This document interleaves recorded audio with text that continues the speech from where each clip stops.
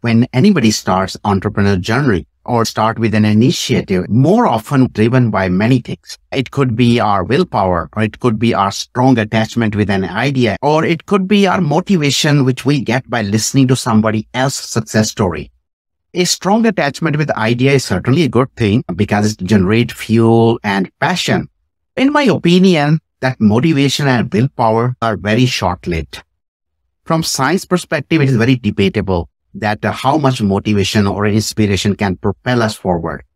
As an entrepreneur, you should uh, rather focus on gaining two-dimensional clarity. The first dimension is why, your emotional drive for doing something you want to do. And the second dimension is about purpose that you hope to achieve. You need to master these both dimensions as an entrepreneur.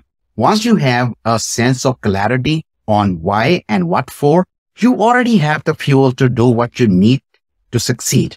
You would not need any external motivation or inspiration, or you most definitely don't need any other superpowers. I guess clarity in today's world is the superpower. So my advice would be to search for clarity first.